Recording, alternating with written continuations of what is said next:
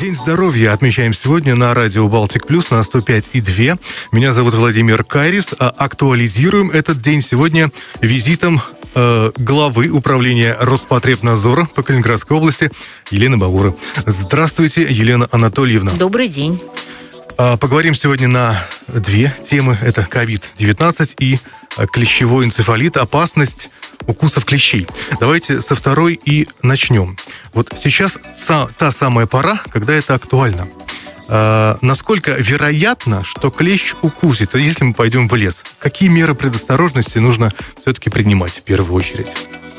А, безусловно, мы, начиная с февраля месяца, ежегодно говорим о том, что клещи проснулись, и актуальность этой проблемы, она действительно очень большая. Потому что клещи – это переносчики очень многих инфекционных заболеваний, но наиболее часто в Калининградской области мы встречаемся с двумя. Это клещевой энцефалит и клещевой боррелиоз. Клещи э, в весенний, летний, осенний период очень активны. Э, в Калининградской области это две волны активности. Это волна активности, начиная с марта по апрель месяца. Тогда клещи у нас наиболее агрессивные и активные. Они ищут своих жертв. И действительно в этот период начинают обращаться за медицинской помощью первые жертвы, которые пострадали от присасывания клеща. И вторая активность летом как-то это немножко успокаивается, потому что для лета характерны высокие температуры воздуха, и в этот период клещи не так активны. И уже с наступлением немножко холодов, то есть э, уже в осенний период, первый осенний месяц, это вторая волна активности клещевого всех клещей, которые живут на, в Калининградской области, и их прокормителей, которые тоже очень много. Исходя из вышесказанного, можно сделать вывод, что сейчас клещи не наиболее опасны, а наиболее агрессивны. Только наиболее что проснулись. Да, только, да, и они ищут своих жертв, чтобы к ним присосаться. Ну и в данном случае мы должны понимать, что 1% клещей заражены в Калининградской области вирусом клещевого энцефалита. Это среднемноголетние данные эпизотологического мониторинга. И каждый 18 а даже иногда 20 клещ из 100 заражен боррелиями, которые являются возбудителями достаточно тяжелого хронического заболевания клещевой боррелиоз. Ну, в принципе, обывателям ничего не говорят эти цифры, а как вы оцениваете их как профессионал? Ну, для клещевого энцефалита это достаточно низкая зараженность, но здесь нужно думать о том, что заразившись клещевым энцефалитом, можно получить тяжелую форму, и э, переболев вирусом, э, и переболев клещевым энцефалитом, можно остаться инвалидом на всю жизнь. То есть мы должны всегда помнить, что клещевой энцефалит очень тяжелое инфекционное заболевание. А зараженность боррелиями – это одна из самых высоких э, на территории северо-западного федерального округа и достаточно одна из высоких, если сравнивать российские показатели. А что такое тяжелая форма клещевого энцефалита? Как это, можно до нее дойти? Это энцефалитическая форма, тогда, когда поражаются ткани головного мозга и развиваются различные парезы и параличи. А, заболеть, но такая форма характерна в основном для клещей, которые обитают в Сибири. Вот там наиболее часто развивается энцефалитическая форма. У нас, как правило, развивается лихорадочная форма, то есть человек а, обращается за медицинской помощью с высокой температурой и сильными головными болями. То есть это первые два симптома, которые возникают спустя где-то 4-7 дней от момента присасывания клещей, если клещ был заражен вирусом клещевого энцефалита. Так уже можно и забыть, собственно говоря, что в твоей жизни был этот маленький клещ. Нет, ну за 7 дней вы не забудете, а вот то, что касается вируса, а то, что касается боррелий, то проявление боррелиоза может быть спустя не только месяцы, но и годы. И тогда человек, э, посещая большое количество диагностов, обращается к ним с различными симптомами, потому что хронический боррелиоз, он может протекать под маркой очень многочисленных заболеваний. Ну, что это, к примеру? Это, например, э, тяжелые поражения суставов, это поражение легочной ткани, это поражение других органов. Но в основном это поражение суставов, когда человек э, очень долго и длительно страдает от такой боли, он обращается к различным врачам, но врач правильный диагноз ему поставить не может, а следовательно правильно назначить лечение. И только тот диагноз, который думающий диагноз, вспоминает о том, что Калининградская область является вот такой эндемичной территорией для данного заболевания и направляет больного для обследования на клещевой, на клещевой боррелиоз. И тогда, э, к удивлению, и человек вспоминает о том, что да, когда-то у него были присасывания клещей, но клеща он не приносил на исследование, он не знает, он не получал никакого профилактического лечения, и вот теперь столкнулся такой хрони... с таким хроническим заболеванием, которого в принципе излечить очень трудно. То есть вы советуете э, после снятия клеща обязательно его отдавать на специальные исследования? Да, это, во-первых, вам э, самим нужно для того, чтобы э, убрать вот такое чувство страха, а во-вторых, нужно понимать, что вы можете получить профилактическое лечение, либо клещевой гамма-глобулин, либо антибиотикотерапию, которая позволит вас предупредить, то есть снизит риски развития вот того заболевания, с которым может столкнуться любой, на которого напал клещ. Ну и главный вопрос, куда нести этого клеща? А, во-первых, очень трудно снять клеща, потому что клещ имеет такое цементирующее вещество, которое очень э, серьезно прикрепляется э, в ту ранку, которая образуется после присасывания. Самостоятельно удалить, как правило, не удается, поэтому в медицинское учреждение, в травмопункт, если вы снимаете клеща, вам дают направление на его исследование, и как раз-таки вы проходите исследование на два инфекционных заболевания, и тогда для вас это бесплатно. И самим можно сдать этого клеща в лабораторию из системы Роспотребнадзора. Это лаборатория ФБУ, Центр генной эпидемиологии в Калининградской области, которая расположена на Космической 27.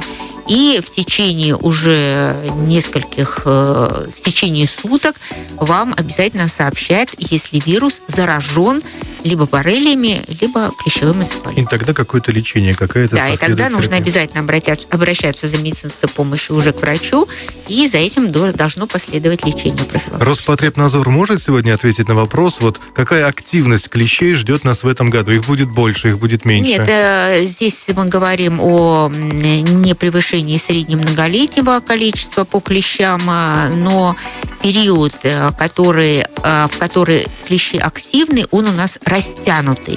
То есть это практически с февраля, с конца февраля до глубокого, ну, практически до, до глубокой осени, практически до первых дней зимы. Вот такой период активности. То есть вот в эти месяцы нужно всегда помнить, что на природе, и не только на природе, потому что клещи нападают и на теплокровных животных, на собак, на кошек, э, вы можете э, столкнуться с вирусом, э, столкнуться с клещами даже у себя дома, а тем более на приусадебном участке, и тем более, когда вы посещаете просто природу, когда вы выезжаете на пикники и так далее. У нас, у нас в гостях сегодня глава Калининградского Роспотребнадзора Елена Бабура. Елена Анатольевна, мы с вами сейчас говорим о том, как э, рисково заболеть, но мы уже из практики последних двух с половиной лет узнали, что э, лучше это заболевание предотвратить и э, качественное предотвратить, чем потом проходить лечение. А существуют прививки от укусов клещей? Вот Нет, расскажите о них. Существуют прививки не от укусов клещей. Защититься от укуса клеща можно только с помощью либо а, а, а, общественной профилактики, это проведя корицидную обработку территории, где снизить численность клещей и прокормителей, или личное, это самые взаимоосмотры, это использование репеллентов и так далее. Но привиться мы можем защититься. Специфическая защита у нас предусмотрена только от клещевого энцефалита. Только от клещевого энцефалита используется вакцина российского производства.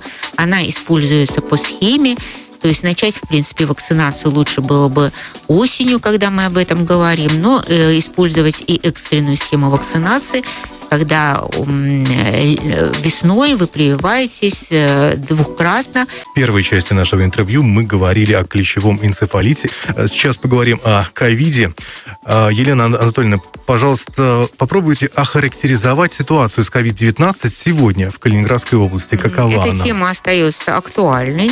Мы на протяжении уже пяти недель, начиная с седьмой календарной недели, видим тренд на снижение числа заболевших. За это время ежедневно, э, количество ежедневно регистрируемых случаев заболевания новой коронавирусной инфекции у нас снизилось в 7,5 раз. То есть за 5 недель в 7,5 раз. Наибольшее снижение мы отмечали на 10 календарной неделе, когда снижение было 42%, а в последующем темп снижения замедлился. И по итогам 12-13 календарной недели снижение составило 20%. Наиболее интенсивно снизилось заболевание среди детей. И вот за это время, за 5 календарных дней мы видим снижение заболеваемости детей в 36 раз – то время как снижение заболеваемости коронавирусной инфекцией среди взрослых сократилось только в 6 раз. То есть мы вернулись к тому, что преимущественно коронавирусной инфекцией болеют взрослое население, а показатели заболеваемости в возрастных группах 50-64 года и старше 65 лет остаются наиболее э, высокими эти показатели заболеваемости. То же время показатели заболеваемости коронавирусной инфекцией в Калининградской области, недельный показатель заболеваемости, он выше среднероссийского уровня в два раза. По итогам 13-й календарной недели 186 на 100 тысяч населения в Калининградской области и 87,4 в Российской Федерации. А если мы с вами сравним, а мы уже можем посмотреть такую ситуацию за 2021 год, то заболеваемость за 13-ю календарную неделю в 2021 году составляла 32,6 на 100 тысяч населения. То есть мы сегодня видим, что она превышает э, тот уровень, который был в 2021 году за эту же неделю в 6 раз. Вы со мной согласитесь, что люди расслабились а, и оцените, пожалуйста, соблюдение мер и мер и правил безопасности. Вы знаете, я хочу сказать, что я немножко не соглашусь с вами, потому что очень многие люди, которые понимают значимость коронавирусной инфекции, ту угрозу, которую она э, у нас, которая э, есть э, с ней связаны, все угрозы, те люди, которые перенесли коронавирусную инфекцию, те люди, у которых болели тяжело родственники, и те люди, у которых родственники умерли от коронавирусной инфекции, те по-прежнему очень четко соблюдают рекомендованные Роспотребнадзором э, меры. Я каждый день езжу на работу, мимо меня проезжают и э, автобусы, автобусы общественный, да, транспорт. общественный транспорт, и я э, с радостью вижу о том, что наши люди все-таки носят маски в общественном транспорте, и это очень важно. И важно, что дисциплинированно одевают маски перед входом, например, в торговые учреждения. Это очень важно и по-прежнему остается важным. Роспотребнадзор практически с учетом того, что циркулирует омикрон штамм, и он имеет свои эпидемиологические свойства, это доминирующий штамм, который сейчас циркулирует, практически отменил уже многие ограничения, сделал нашу жизнь более такой свободной в этом плане, но ношение масок, проведение дезинфекционных мероприятий. И все-таки надо подумать о том, что стоит ли вам идти в толпу, если такой необходимости нет. Вот об этом нужно все равно помнить, потому что заразиться коронавирусной инфекцией можно и второй раз, можно и третий раз. И если в первый раз ваша иммунная система не справилась э, с этой ситуацией, то не факт, что она справится во второй или в третий раз. И нужно всегда помнить, что лучшая защита от коронавирусной инфекции – это разумное поведение и вакцинация. Поэтому мы э, видим, к сожалению, что количество летальных исходов не, не уменьшается в таком большом количестве, и ежедневно мы практически хороним людей от коронавирусной инфекции. И если вы меня сейчас спросите, кто, что это за люди, это люди практически все старше 65 лет, хотя есть и гораздо моложе. Э, но это люди в основном не привитые от коронавирусной инфекции, то есть не просто не ревакцинированы при наличии тяжелых соматических заболеваний. И ни одной таких, прививки. Как, и ни одной прививки. Э, таких как э, гипертоническая болезнь, ишемическая болезнь сердца, сахарный диабет. То есть это сопутствующие заболевания у людей, которые не перенесли коронавирусную инфекцию и течение заболевания у них было крайне тяжелым, и врачи в данном случае не смогли справиться с этой инфекцией. Ну, вот один каждый пример... день, каждый день от коронавирусной инфекции у нас по-прежнему умирают калининградцы. Вот один яркий пример мы, собственно, про это читали новости буквально накануне.